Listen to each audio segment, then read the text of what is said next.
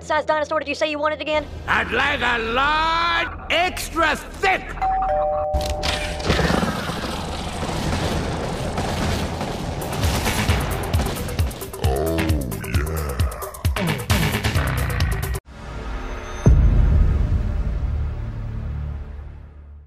Hello everyone, this is Saurian Target welcoming you back to a very special Carnivores mod announcement video, where today we are taking a very quick look at a surprise dinosaur release that completely snuck up on me, and I cannot get over how exciting this new dinosaur is. Ever since this dinosaur's design was revealed over a year ago, it instantly became one of my favorite carnivores animal designs ever. Right up there with Triassic's Postosuchus and Far North's Hyaenodon. And now, the beast is ready to hunt. Right after the Jurassic DLC pack release, Carnivores Plus now has an 11th huntable DLC dinosaur. Ladies and gentlemen, it is my honor to present the one, the only, the Chunky Iniquutyrannus. So this is coming right off the heels of my Beta 2.1 release coverage for Carnivores Plus, and if you haven't seen that video yet, link in the description. And the reason I didn't include this dinosaur in the last video is because, well, it came out about a week after the beta release. So that last video was already too far into production and already too long for what was supposed to be just a quick announcement video. So we're just gonna cover this big boy here. Also, while I'm at it, it completely slipped my mind that I didn't even talk about the new DLC dinosaurs in my last video. So I'm going to very quickly fire off some brief thoughts about them after we talk about Iniquutyrannus. So without further ado, let's begin. So Iniquutyrannus is a huge new DLC dinosaur for Carnivores Plus, taking up the entire T-Rex AI slot as an immense, unstoppable force of nature. Created by the master modder himself, Poharex, this dinosaur is based on an old Tyrannosaurus painting by Carnivore's god and legendary paleo artist Zdeněk Burian, I never cared too much for the design in the painting myself.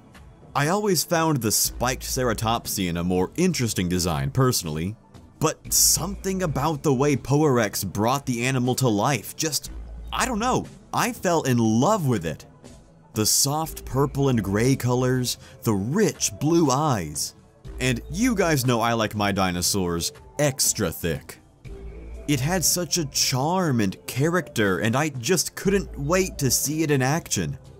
Of course, that was over a year ago, and when the Jurassic DLC pack came out a few days ago, I was only slightly disappointed that Iniquutyrannus wasn't among the new DLC dinosaurs.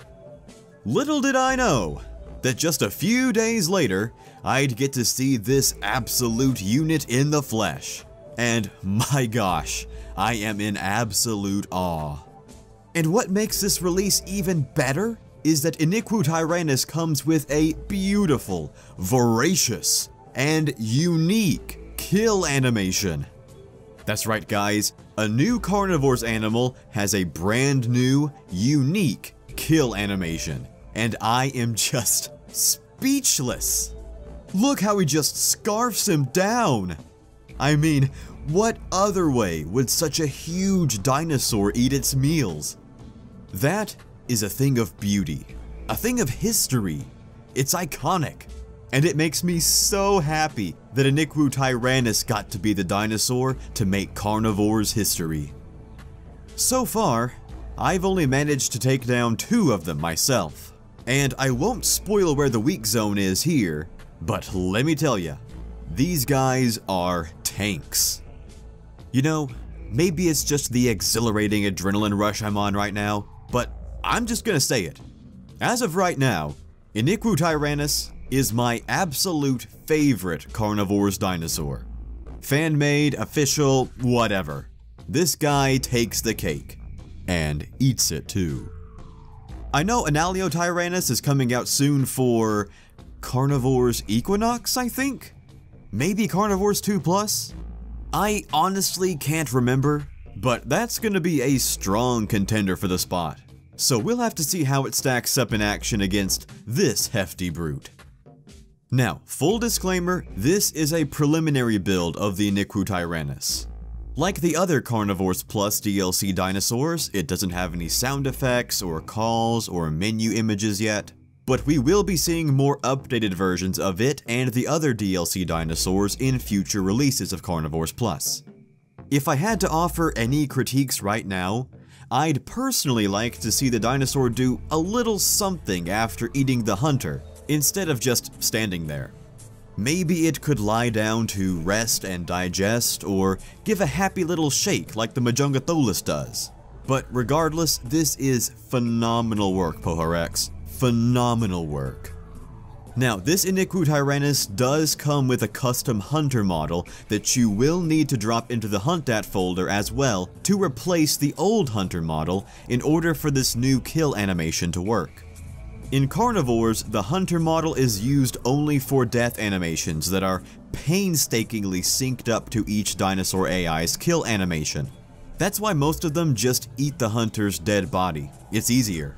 So since Iniquutyrannus is on T-Rex AI, unless you want your hunter being flung around by an invisible T-Rex, make sure to replace the hunter model as well.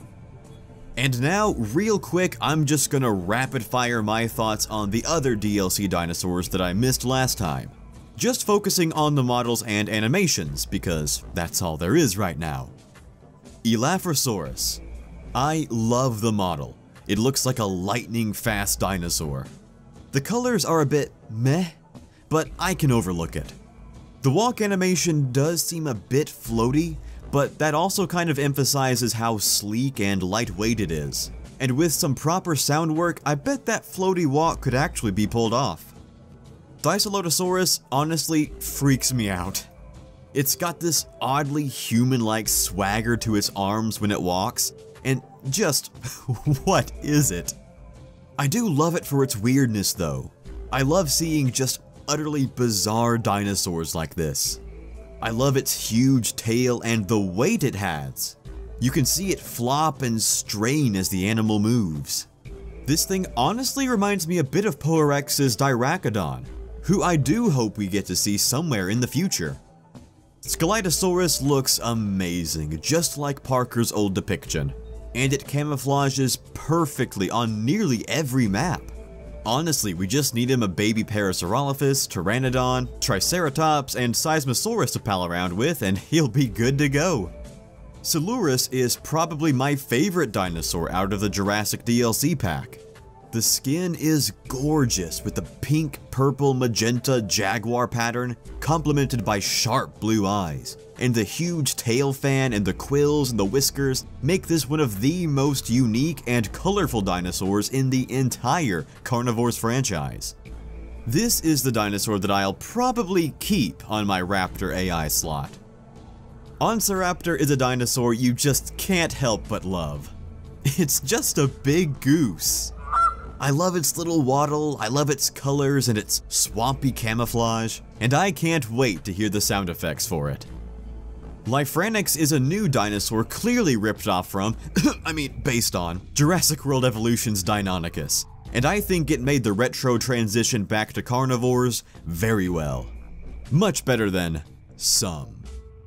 The default skin is pretty similar to the Velociraptors, but Lyfranix has a host of alternate skins depending on where you find it on the dinosaur planet. So that'll be really cool to see Lyfranix coming back as a returning character. As an aside, I think it would be good to see at least one of these three Velociraptor AI dinosaurs rewired for Allosaurus AI specifically. I know technically they do work on Allo AI too, but knowing that the swim and idle animations are reversed just festers in the back of my head. Plus, that would space out the roster and not cram everything on Raptor AI. Anyway, minor nitpick over. Dilophosaurus looks incredible. The model and texture camouflage perfectly, the blue crests are a gorgeous touch, and its new snake-like look and behavior are something I've wanted to see out of Dilophosaurus for a long time. That tongue flick animation is amazing. No, it's not Jen's, and I know we all have a soft spot for that old Dilo, but if you give this one a chance, it really grows on you, and I think it's a more than worthy successor. Innovator is a bit of a mixed bag for me. It's about as attractive as a real-life turkey. My gosh, those things are hideous. But I do stand by it and respect it as one of Poharex's creations.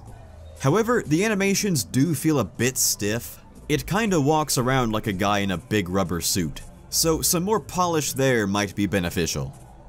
Stokesosaurus is a dinosaur that I wasn't just a big fan of when it was first revealed. I mean, I liked it, but it didn't just blow me away. Now, however, it's one of my favorite dinosaurs in the mod. I love the contrast of the feathers and spikes and horns, and of course, it's just natural bulk. It feels like a big wolf, and I can't wait to hear some sounds on it. Honestly, the best part about these new DLC dinosaurs to me personally is their sheer diversity when all viewed together. You've got dinosaurs of all shapes, tall and thin, big and fat, long and lean, short and stocky, and you've got them in all colors, red, blue, purple, yellow, black, pink, gray, and with all sorts of adornments. Spines, spikes, crests, feathers, quills, whiskers, wattles, osteoderms, horns, claws, webbed feet. There's just something for everyone here. And they're all so fun. They're fun dinosaurs with fun designs, and I love that about them. Alright, so there you go guys. Some fantastic new dinosaurs have just made their way into Carnivores Plus, and I hope you've had a chance to download and hunt or just observe them. But which one is your favorite? I'm pretty partial to this big son of a gun myself. But be sure to let me know what you guys think down in the comment section below. I always love to hear your thoughts. And don't forget, if you do want to be notified in a more timely manner about Carnivores news and updates, you can follow me on Twitter or Instagram, there are links in the description. And be sure to subscribe and hit that bell icon so you can be notified when I upload. You know, once every three blue moons. Thanks as always for watching guys, you are all truly the best. And I will see you guys next time. I'm honestly not sure what's up with this. Is this a code? A cipher? Hmm. Hello everyone, thank you so much for watching. I genuinely appreciate it and I really hope you enjoyed the video. If you do enjoy the Carnivores games and Carnivores content on YouTube and want to help support this channel, you can do so at patreon.com slash sauriantarget. There's a link down below in the description of this video. Now, it's not required or expected of anyone, just by watching this video you have proven yourself an amazing person by helping me out. But I do want to give a special thanks to those supporting the channel on Patreon who helped make this video possible. Thank you all for everything you do. You are all the best. And I will see you guys next time.